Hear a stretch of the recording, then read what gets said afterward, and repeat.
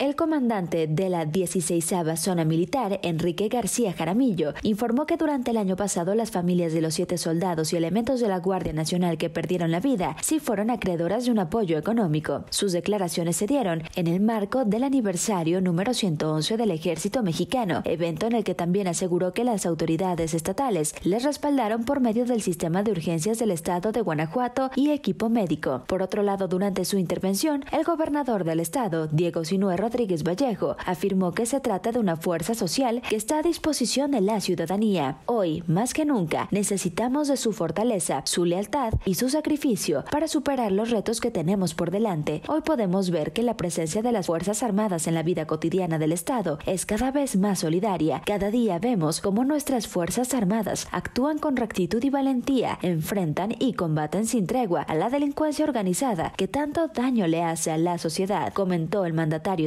en declaraciones para Zona Franca, informó para Canal 13 Camila Islas.